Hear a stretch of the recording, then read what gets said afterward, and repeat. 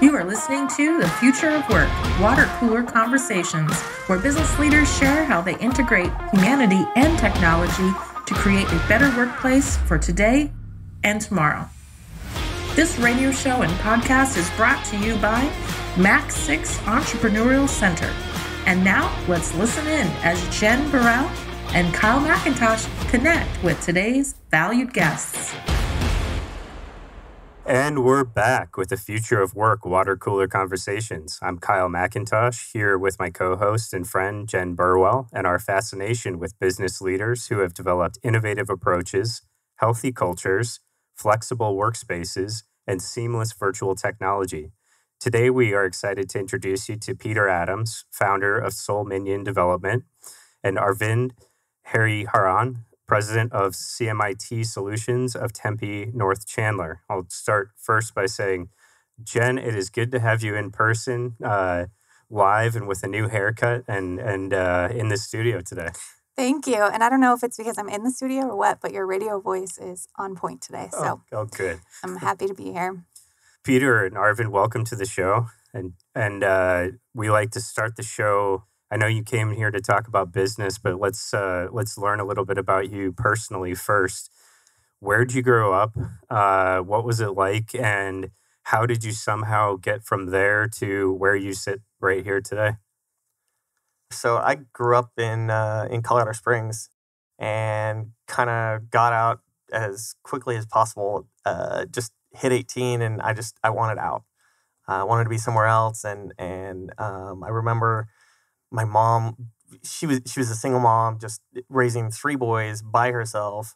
It was it was interesting. I didn't really have the appreciation for it as i do now but um, going away going to college doing my own thing and and doing all that and ultimately uh, after 15 years uh, moving to Arizona. They were still in Colorado at the time, but moving to Arizona just to be a little bit closer, so it wasn't like a two three day drive to to go for a visit. Um, and I, I I think that a lot of what I got to get where I am now came from just you know having my mom around, like making sure it was it was just one of those things where very much eh, whatever whatever needed to happen to make sure that we were taken care of. Like she made sure it happened, mm. and I think that that that has really kind of stayed with me um, to really just make sure that when I when I commit to something, when I say I'm going to do it, like we're going to do it, and we figure it out. And um, I, I think a lot of that really came out of just growing up and, and seeing how hard my mom was working for everything.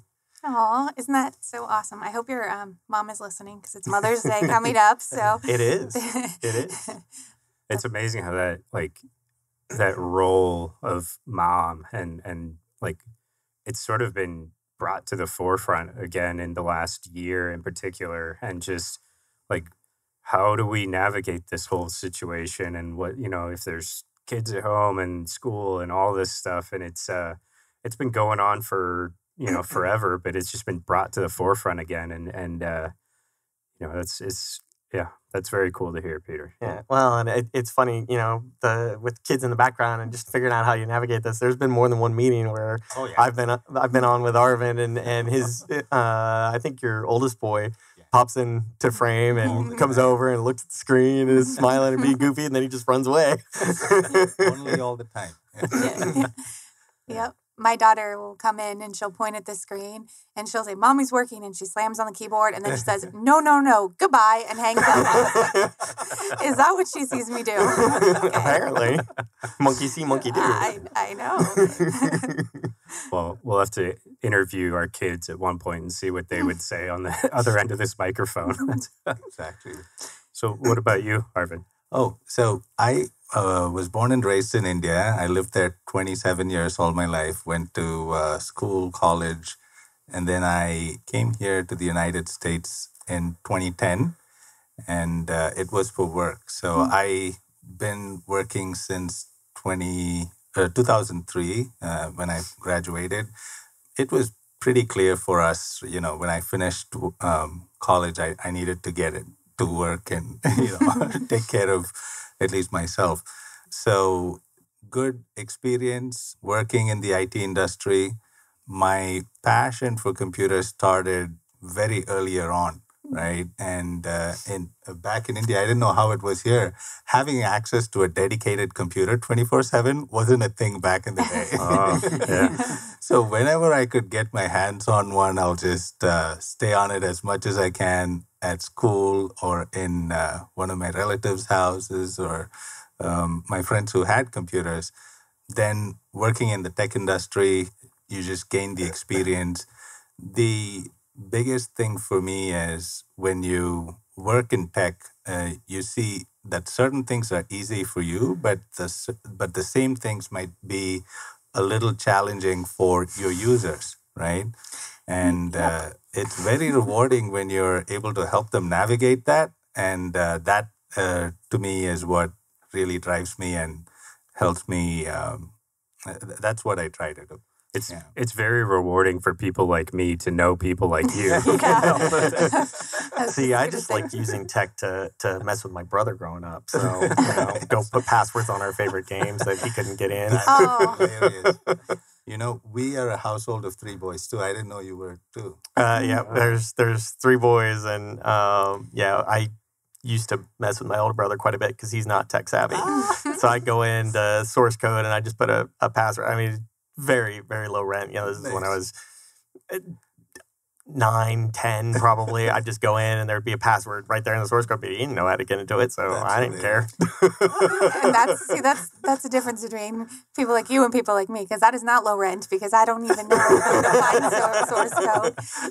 Um, I have a question for you though, Arvind. So, what was it initially that drew you to computers? Was it really like how did they work or what you could do with them? Like, Oh, what was the Yeah, absolutely. So i- it's interesting when you start learning computers. It's uh, it's a little. There is obviously a learning curve like anything else, and then there's a point where you learn certain things. Uh, there's an excitement in learning it, entering a command or something, seeing that go through, and then uh, and then noticing that wow, I just did that, and um, I guess you just want to do more of it, and getting things to work, right? What computers were in the 90s to what it is now, it's a lot different in the sense that um, now things are more um, outcome based, right? Uh, you you want to be able to do things fast, quickly, from anywhere at any time, right? Um, whereas back um, in the 90s, when I started using computers, you had a command line interface, um, and Windows was just catching up at that point. So it, it, it, it it's really thrilling when when you are in front of a command line. what is a command line? Oh, that's where you actually have to type to get the computer to do something instead of like move the mouse Right. around. Oh, before there were like icons. Oh yeah, Yep. absolutely. Yeah. Oh yeah, Yep. yeah. Yeah. Okay, I'm with you now. Right. Yeah, I yeah, like you, I live on the command line too. So Like right today, you do. uh, I do quite a bit. Yeah. Peter probably does today. Today I don't do command line so well at all. but, but yeah, he, uh, yeah, he's very technical with everything that uh, he does in terms of the code and yeah. That's really cool. So uh, we've had a couple um, people on in your industry, and Kyle and I have always been curious because um, I have two boys and a girl, and they're always um, my oldest is always interested. He's super into video games, but he's getting into like I want to create my own video games.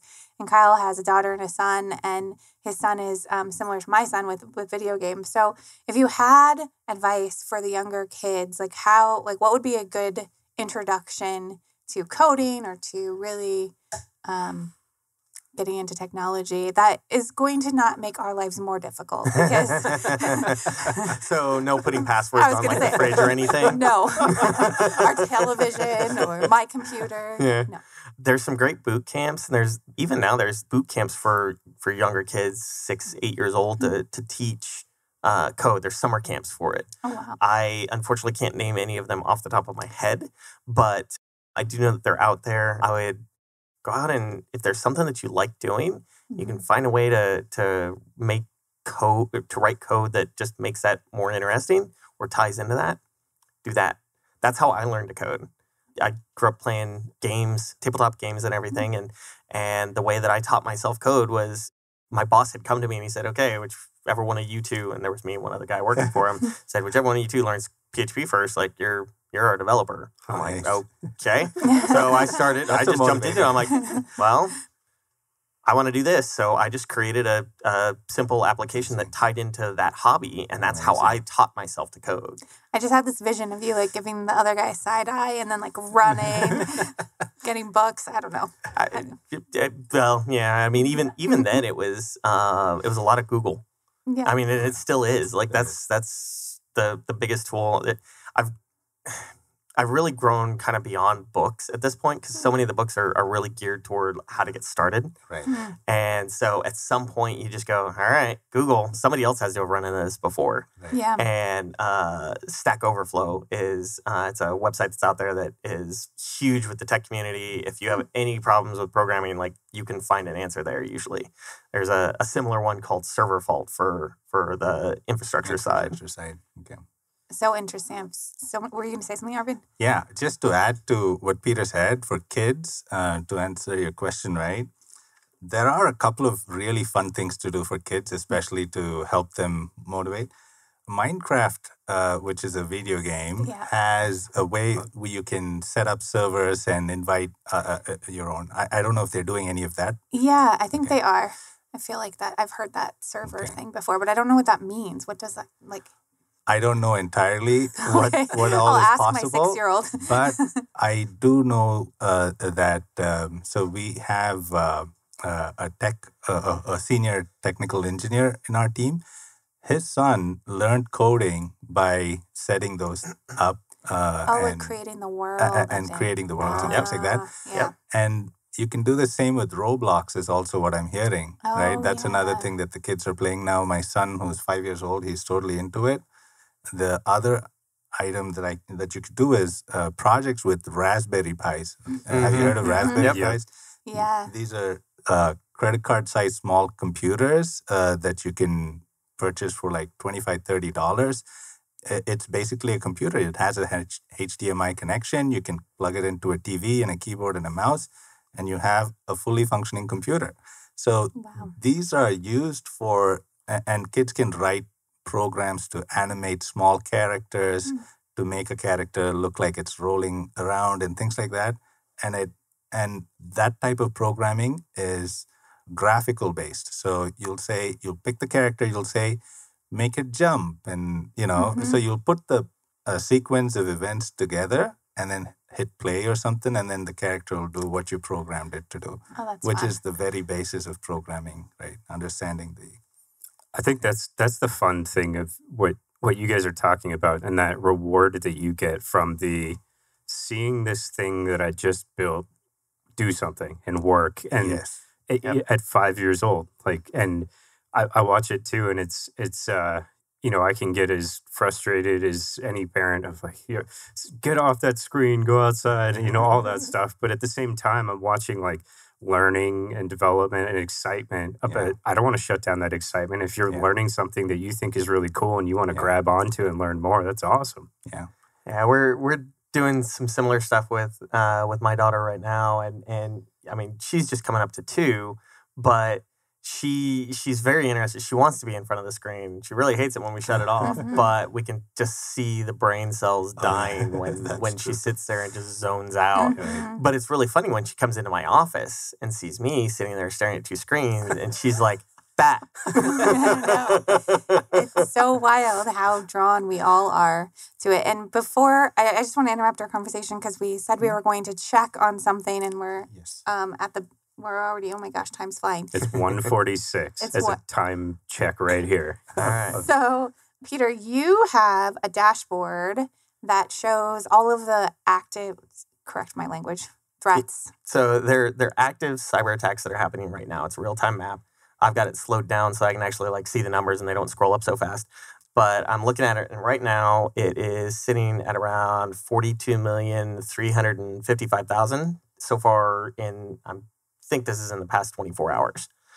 So we'll come back to that. I'm I want to see what it says, you know, when we when we start closing up our conversation. Say that number one more time. Uh, 42 million 355,000. okay, just wanted to make sure I had yeah, all the just zeros and Yeah. um, okay, that it, In the last 24 hours. Yeah. Think, wow. So I mean that's and I mean it says today, so that could be since midnight uh, our time, but that's that's still a pretty big number.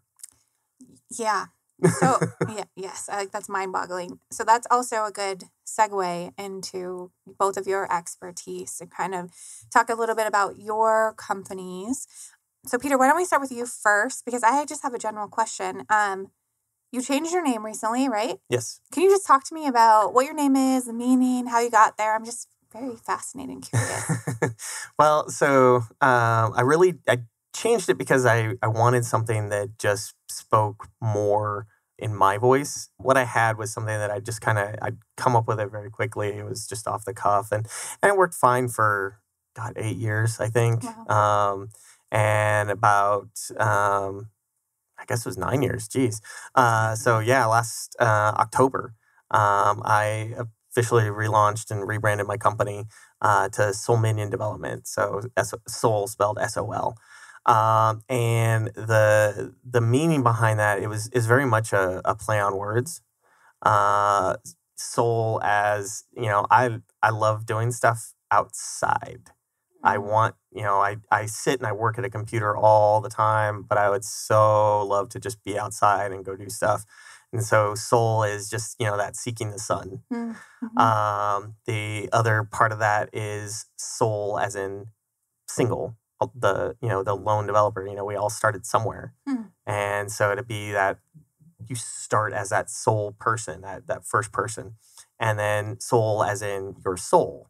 Hmm. Um, you know, I, I, I think I feel like I bring a passion to to my projects to you know I really want my clients to succeed I really want them to to move to that next level and it's you know recently we have a, a client that I've been working with them for seven years now uh, Wow. ongoing they have been just trying to continue to grow and they've they've done a really good job growing organically and they are now in the process of, of putting together crowdfunding for uh, SEC level investment through the, Wow. the new SEC rules. oh wow. So I'm really excited to see uh, what comes out of that.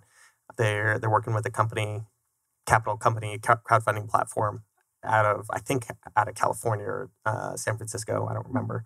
Uh, they're uh, they got, my contact is in Texas, but it's really exciting to see finally getting to that point where he's like, we're gonna get some real money to to Mhm. do a budget and and really focus on like building out. So it's just taken so long to get to where we are because of budget yeah. and there's there's just limits but it's so i really look at i have that that passion i really want them to succeed and so i really try to make sure that what i'm providing them isn't just functional but it's scalable Mm. and i i've had to break that to to more than one person where i take over a project and i'm like you know what you have you know the, the developer they did fine you know they created you something for you that was functional but it's not scalable Mm. and that's that's really where I, I try to differentiate myself as as being something that can you know yeah right now you might only have 100 users or 500 users but i want you to be able to have 100000 users all on the platform Yeah. so And wait, where did did I miss it? Where did Minion come from? so minion just uh, uh i was the sole minion Ah, um there's no employees so got uh it. sole minion I, I love it.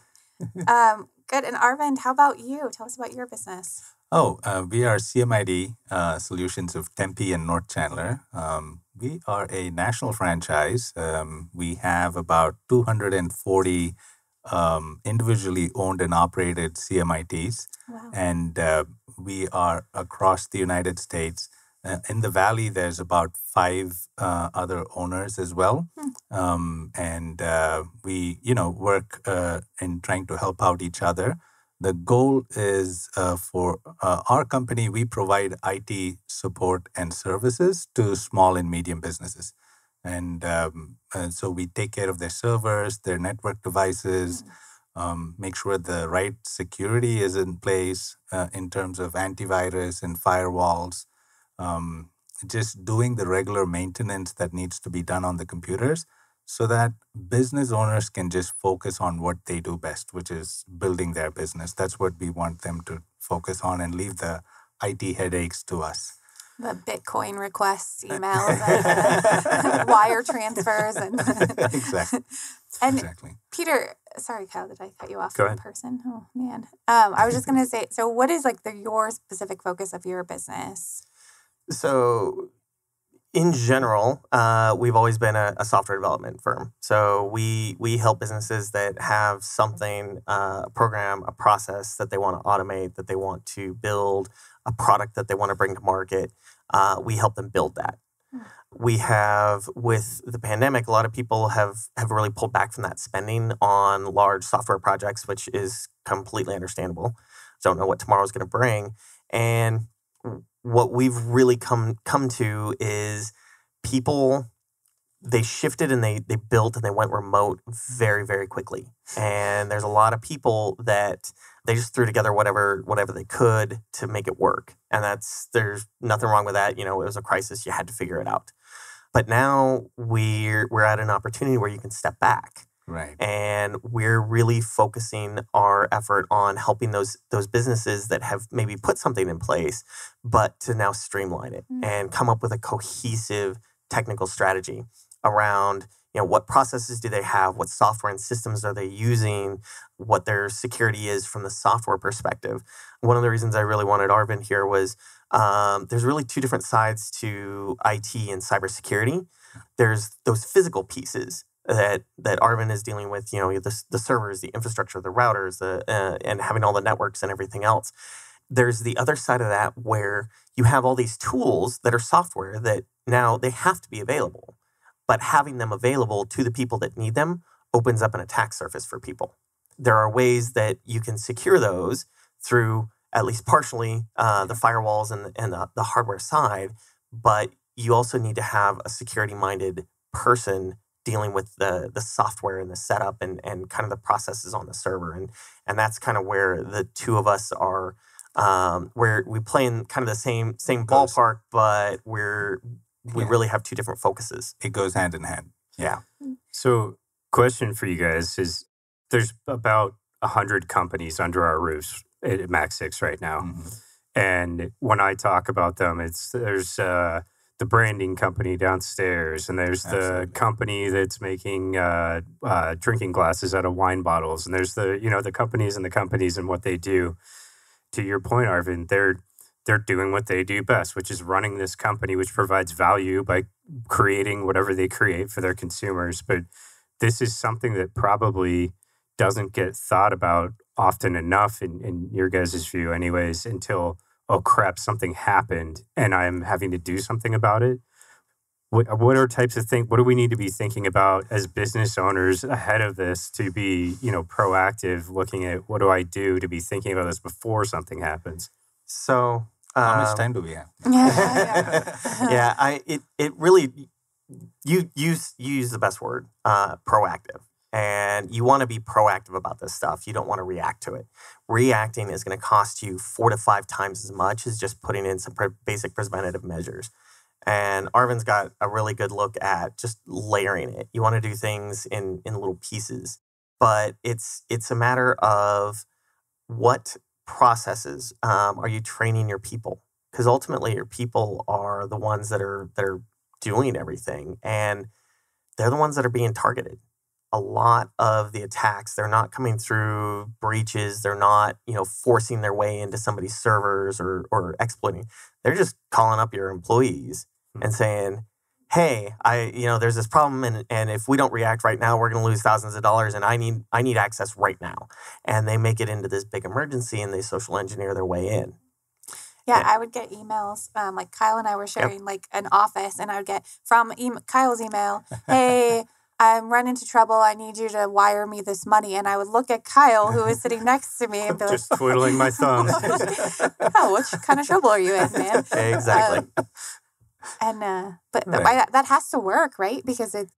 I mean, why else would they? that's they do that's it? the disappointing part I w- yeah, that's the sad part. And there is um, there the scariest place you can go to on your computer today is your mailbox, Mhm. right? For more Yeah, reasons than yeah, one. yeah. yeah, because uh, phishing is one of the biggest ways of uh, uh, biggest attacks out there today, right? Followed by ransomware, and then third, followed by cryptojacking. So phishing is basically sending an email either as a known vendor or a bank or a friend trying to get some information or any type of uh, valuable out of you, right? Money or bitcoins. And um, it's scary because it's out there. A lot of people get it. And uh, there are ways to protect yourselves around it. Instead of opening your mailbox to just receiving all your emails, you can put it through a secure uh, security filter, right? There are solutions out there that Mhm. you can mount on top of your mailbox, which will filter through these emails so you don't get those type of spams, uh, spam emails, which reduces your exposure as an individual. And uh, to what Peter was saying initially, right? Security must is not a one and done thing, right? And um, we were we always think of it as securing the users through by giving them the right access and only giving the right people the right access to access files securing computers which is either through your antivirus uh, software spyware uh, anti-spyware software and then protecting your computers by encrypting it so that even if your computer is lost or stolen the data in that doesn't make any sense to anybody without a passcode. Third you want to protect your network by installing a firewall or something like that so that it separates your internal network with the external internet right? And above all this you need to train your users as well right? Uh, train our employees which is going to be critical because it's uh, so easy to be uh, uh, uh, uh, hackers are getting really smart Mhm. right? And and they they sound they, they know a lot of information that they can use today to sound like the person sitting next to you right so that's on the infrastructure side peter can actually add more on the software that's being built to and and how from a code level from uh, as a developer uh, you know do you want to touch Oh, maybe yeah. One Yeah. quick before Peter, because I have a question about us, something that happened to us Mm-hmm. Yeah. last week or two weeks ago. vendor. Yeah. Yeah. So we were working with a vendor, Mhm. um, and it was a large contract, oh and we got an email from the vendor. Correct me if I'm wrong with any of this, but it said, "Hey, here's the invoice. We have a new billing process. absolutely Can you send it to this?" And it, it passed one level of our checks Yep. because it was we were expecting the invoice. It was for the right exact right amount. on their letterhead on every, Wow. yep, Yep. everything. And then um, our our person who processed all of our bills caught it because he has fallen victim to this before and was like, "Hey, we should ask some questions. absolutely If they want us to wire somewhere different, we need to um, verify." And it was, but how did they get the exact amount and like how does that so happen? the that kind of ties into what is increasingly becoming a problem and that's supply chain attacks. So going all the way back to the target hack in uh, 2014 i think it was where you know a bunch of credit card numbers were stolen because at the point of sale systems they were Mhm. skimmed off the point of sale systems. The way that the hackers got in there was they went after an hvac vendor and an hvac vendor had a weak password on their vendor account and for some unfathomable reason, the vendor, uh, the vendor's account had access through their with their credentials to the point of sale systems in stores. Yep. That's how it originally happened. Wow. And so, so like why and how and so the reasoning behind it was largely around um, thermostats and climate control within the within the building. So they had this climate control automation, and so the vendor could could log in and kind of make sure everything was was running Mhm. smoothly. And so they would log in. They had access over the networks for that reason. So they had access to manage the climate control systems within Target, Yeah, but uh, um, that's why that what that's why it goes back to giving the right resources, the right the right access. right access. Yep. yeah. Yep. Again, you know that that goes into that. It's that supply chain. Most likely, someone had credentials compromised or somehow data got leaked. That's kind of been a, a big thing recently. We've had two major data leaks from Facebook in just the last month. Mm. Yeah. Uh, the first one I think was about three weeks ago, four weeks ago, and it was 500 million records. That's one of the most recent ones. Just this year, we've had two really major issues that have come up, and so one of those is SolarWinds. and that was they they went after SolarWinds and they ultimately got into some cybersecurity firms networks as a result. And this was nation state sponsored, so uh, they've tracked it back to uh, I believe Russia, and there's a second nation state that I don't think they've identified yet. My money's on China they got into SolarWinds. They compromised the source code at SolarWinds, and all of this this source code was then built into tools that was automatically deployed to all of their client servers, and it was network monitoring software.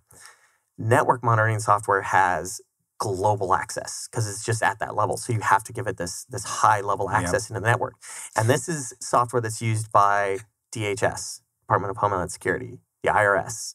Um, you know, This makes me want to like go hide in fetal position somewhere. yeah so that like this was this was a uh, one of the worst. That's just the first one this year. Um, there was another one where they it was a very sloppy attack so i don't think it was um, i think it was intended to just send a statement to uh, that particular community.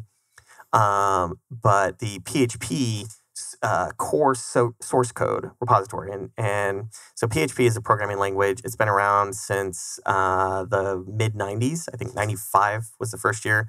Um, i began working with it back in 98 it now runs on about 80% of the internet.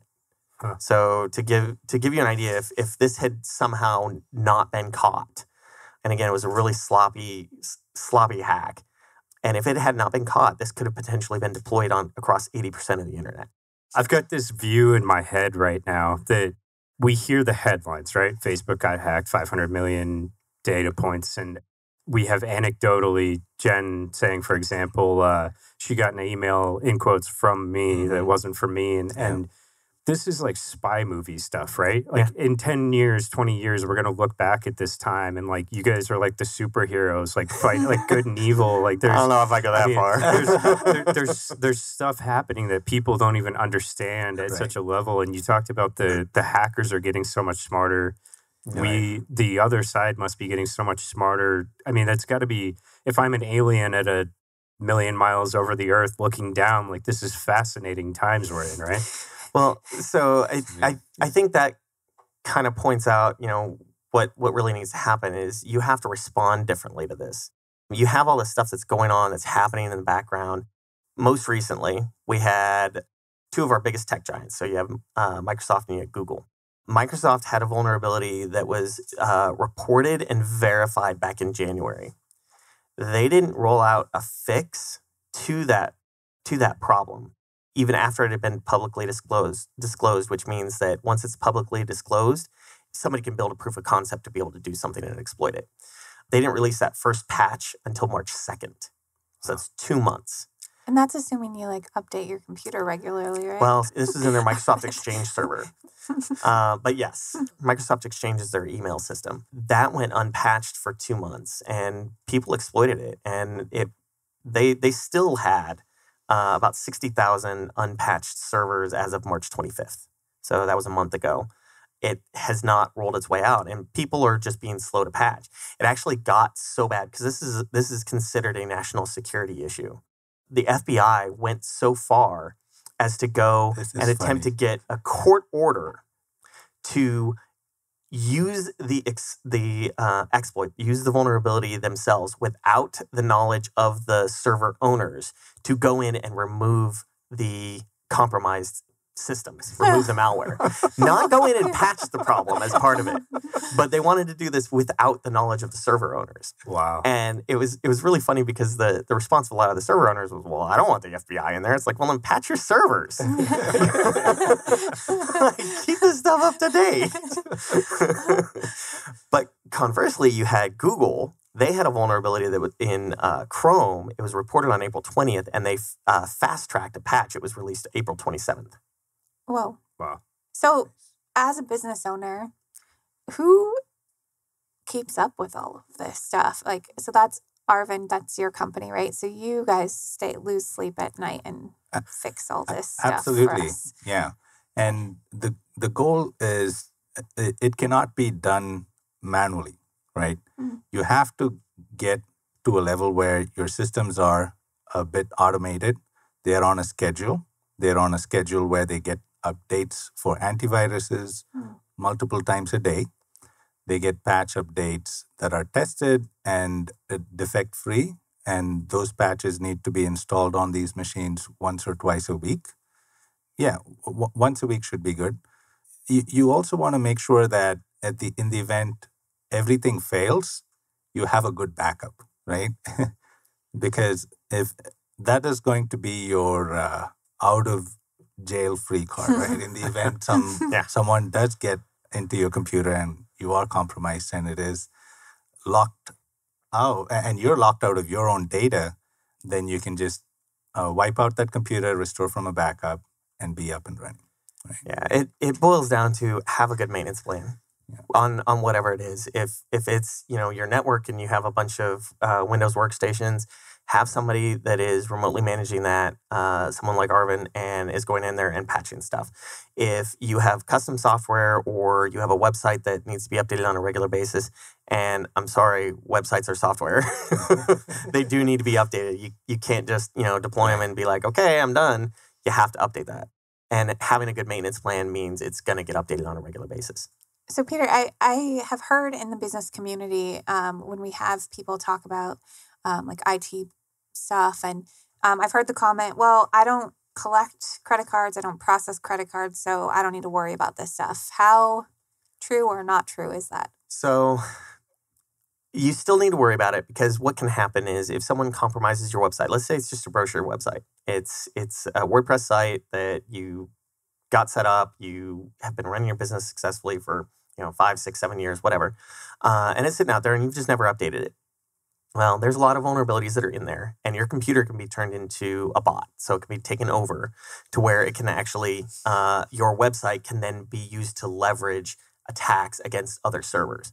And this is generally done for the purpose of DDoS, so distributed denial of service, where you just go and you get a whole bunch of these these uh, servers that you've compromised that you just leave idle until you have a big enough uh, collection of them, and then you say, okay, eh, I want to take Google down for the day, and then you just point all of their all of those computers at Google and just hit them. with requests. You promised this wasn't going to be scary. well, I said I was going to try. Let's be honest. Oh, I think my hands are sweaty. My Um, goodness. but th- I mean, that's that's exactly why you want to make sure that you're you're keeping the stuff up to date. These they they can be used, and and this is why the FBI took it so seriously and went so far as to try and get that court order. It is a national security issue. People can take down critical infrastructure. They could use it to go after, um, you know, and again, we're about to go into something completely scary. You know, they they could go after uh, hit nuclear power plants. They could hit uh, water treatment facilities. They did that back in I think it was December uh, in Florida, and somebody got in through a weakly protected remote management system and kicked up the Ours- level of lye in the Oh, that was going to be in the system that was going to be dropped into the system. A human caught it, and so they had other processes in place, and that's good. But the reality is, it shouldn't have been as easy as it was for somebody to get in remotely.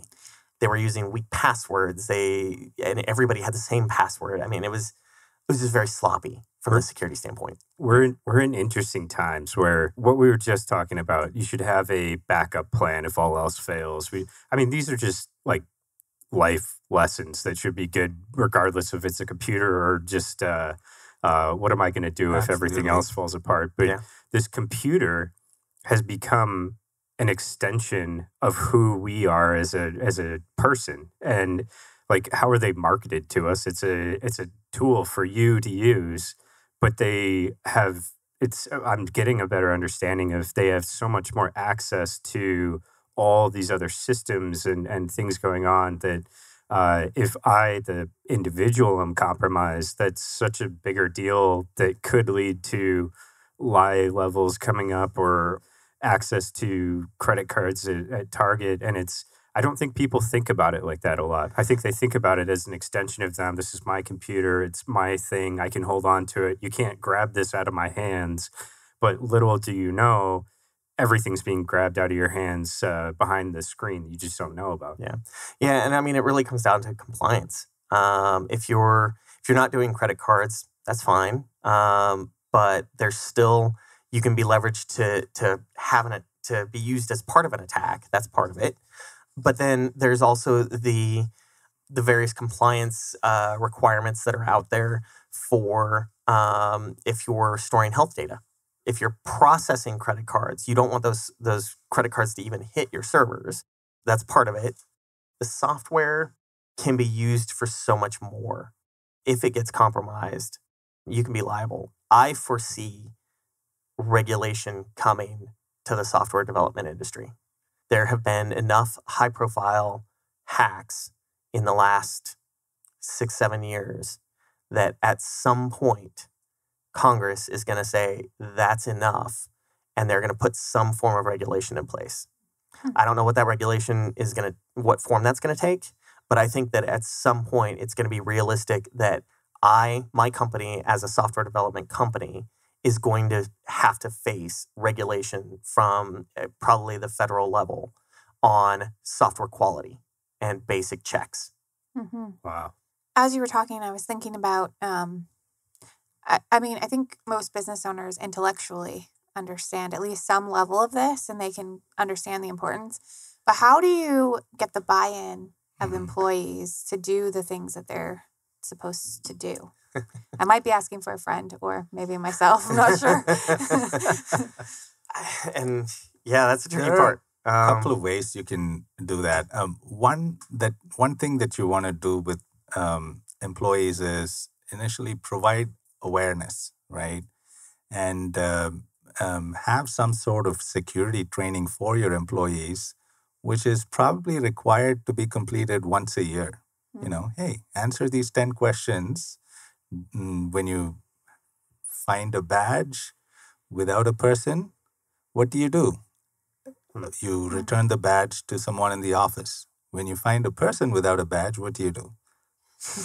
return that person to Right. make sure they're escorted or whatever. Right. Uh, So physical security, technical security, cybersecurity, um, awareness is going to be most important. Getting that part of their annual appraisals or something like that would be a good idea. All in the uh, effort to improve security for the company itself, right? What else can you do? Um, make sure you're aware of what is out there. Educate yourself. Make sure uh, you get the advice. Uh, We have financial advisors to tell us, hey, what do I do with my money? how, uh, how do I make sure that I retire, uh, uh, uh, you know, um, at, at the age of uh, retirement and I don't work my way into 80? So basic planning goes a long way. Make sure you get a security assessment done for your software. Uh, Peter can do something like that. For us, we can do. Uh, we can come in and take a look at where you are in terms of your security and give you a report on what are the things that that look good, what are the things that can use some improvements. it really comes down to um, culture. You have to have a cult. You have to foster a culture of security Exactly. around this stuff. Yeah. Um, you have to get people to to really buy into it and say, you know, this isn't just you know my information. This isn't just a job. You know, this is this is our customers' information. This is our customers' data. Um, and so you have to foster that culture. Hmm. It really boils down to security is not one person, any one person's responsibility. It is everybody's responsibility, and that's that's not just at that company. It's just as in general, security is everyone's responsibility. Yeah. There's this line that comes up when you're talking around this, right? You're only as strong as your weakest link, Mhm. and security is um, exactly like that. Yeah, and I think um, like what saved us was that double check system.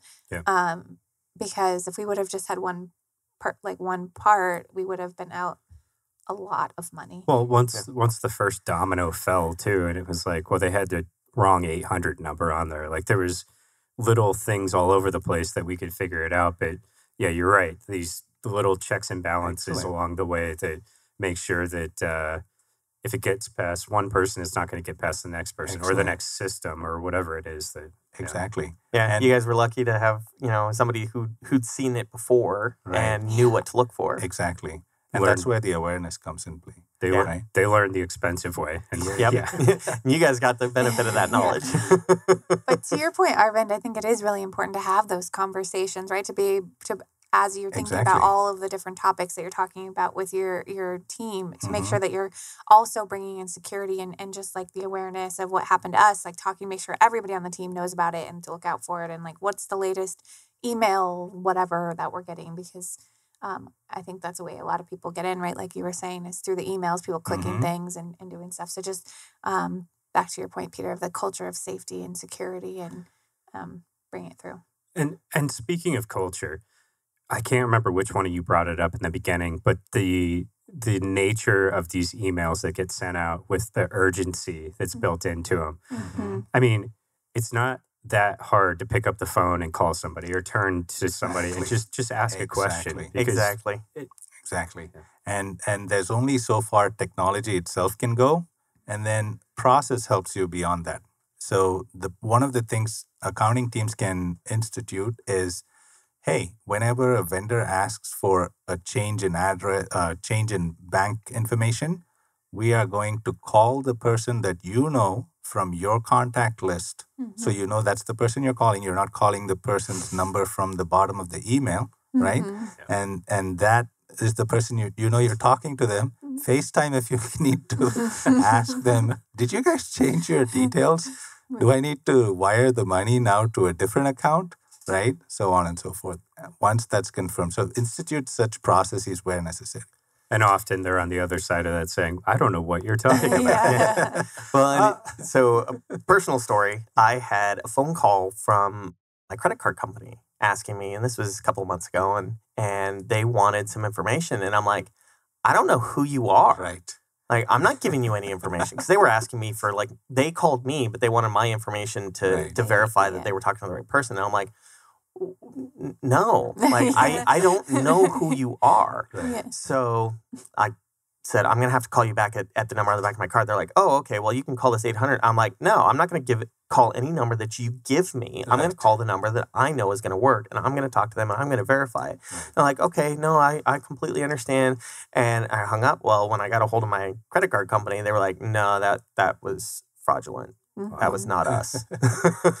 And I heard that text messages are are a big thing right now, like getting the Yeah. package yeah. texts, and and also I got from who was it? It was from my, either my car loan or my mortgage or somebody saying, "Hey, I have some details about your account." I'm like, "What?" And then they're like, "Oh, well, we need this information before we can tell you." All through text, and I was like, mm, "Yeah." Yeah. Text message has been an issue for a while. yeah multi-factor authentication so that's where you get that code text me- texted to you so that you can log into your bank or whatever. That's okay from a uh, two-factor authentication route but sms has been shown to not really be secure. It's very easy to, to fake that or reroute it and that kind of stuff. So if you can do it through like an app or something like that i use google authenticator for mine Mm. uh, but there's there's a lot of different ones out there. Lastpass has one Authy, I think, is another one. Uh, YubiKey. I mean, any one of these that generates that that random six digit code that changes like every thirty seconds yeah um, is going to be hands down a Yeah. better choice for security and doing two factor authentication than a text message. So we are running out of time. And I Oh, just, wow. before we completely close, I want to change directions here a little bit and ask a couple of questions that we, we always ask at the end of the show. So do a little bit of a lightning round here. And these questions have nothing to do with anything we've been talking about. So they're just fun. We're collecting answers and we'll do something with them at some point. But for now, it's to satiate our curiosity. Oh, I will definitely get to that. Don't don't you worry. so the first question is, uh, what is your favorite book of all time? Favorite book of all time, or just favorite that we read recently? Or It can- it- doesn't matter. It, it's favorite book of all time, but if that's a difficult one, because often it is, just tell me about a book that you really liked recently. That's fine too. So, favorite book of all time is called The Talismans of Shannara. Uh, it's a Terry Brooks fantasy novel. That one has has just I, I that's one of the few books that I've gone back and read multiple times. That that whole series. That was the the final book in the series, but it was one of my favorites. More recently, um, I've been doing a lot of audiobooks, and um, I actually picked up Just Work by Kim Scott, and it's about uh, creating a culture that uh, f- both fosters inclusivity and enables people to make the decisions that make people feel welcome. Hmm. Um, and how you do that, it's it's it's really interesting. And her origin story, I, I was listening to it and I just started it, and I I had been listening to it throughout the day, and then that night I was uh, talking to my wife. I'm like, "You need to hear this. This is crazy." Mm. and we just sat on the couch and we just had the audiobook going and she's just going oh my god uh, but it's it's fascinating i have not finished it yet um, but it's it's been really interesting to just hear kind of some of her perspectives and things it's it's pretty interesting Cool. Nice. Um, so for me, the favorite book of all time is SharePoint for Dummies. I'm joking. nobody likes sharepoint um, I, I think the favorite book of all time is The Intelligent Investor. It's uh, by Ge- uh, Ben Graham. Um, and uh, it was a book that Warren Buffett, um, I think, uh, uh, advises. Uh, I think it's uh, it was written in the uh, 70s or early, uh, late late 60s and then uh, republished in 70s. Um, the the book that I've recently read um, so so a little bit about the intelligent investor it for me in uh, finance industry was a big hey a big opaque glass uh, opaque object. I, so reading that book gave me a lot of clarity. What are stocks? What are bonds? And Mm. things like that. So i love i just like to geek out on that. With regards to the book that i recently read is one called first break all the rules. It's by the gallup press. And uh, the authors uh, Marcus uh, Buckingham and Curt Koff, uh, Coffer, they've wh- what they've done is they've really dealt into what successful managers do differently, right? Today we live in a workforce where only about thirteen percent of the uh, workforce are actively engaged, right? What is it that you can do as a manager to change that? And um, it really opened my eyes uh, to a lot of uh, aspects that I wasn't aware of. So for me, I learned a lot. They, uh, it, it talks about how whenever an employee is uh, in the office, they need to know um, what is expected of them to uh, uh, from their work and what type of making sure that they're equipped to do their work properly and things like that. And rating yourself as a manager on all of those aspects. There are there's a 12 question pointer thing in that. So gives you an understanding of where you are, acts as a guidance to being a better manager. That, that, asked, that led me to another question quickly because we know that Peter is the sole minion. So. but Arvind, um, do you have a team? How big is your team? Um, yes, uh, we have, uh, as I said, five different uh, uh, owners here in the valley. Uh, I work with two other owners very closely. Our team is about eight of us wow. to, uh, in total. We provide um, services. Mm, my individual uh, franchise takes care of Tempe and North Chandler, but uh, CMIT provides service across the valley. Yeah. Very cool. Yeah. That must be nice to work with other owners too. Oh, definitely. We support. jump on calls every day at about 4.30. Uh, we, we are in and seeing how our day went and have like a daily scrum call. Half half uh, solving issues and half therapy, business therapy. I, I have a feeling there's alcohol involved um, it, ours are not that exciting. dang we, we, we do do team outings once in a while. I mean, now that things are opening up, we did the first one a few weeks ago. So That's awesome. So, one last question before we get to your number and wrap up. Um, what is one life lesson you've learned through the pandemic that you want to continue to bring with you um, as we look at the rearview mirror for the pandemic? So, what are you going to bring forward? my wife and I had it right when we when we liked the outdoors. Unfortunately, everybody else has now discovered them. So this summer is going to be really interesting. I thought you were going to stop with my wife and I. I was like, well, that's good to go forward. All right. and Arvind, how about you? I think we as a society have become so resilient.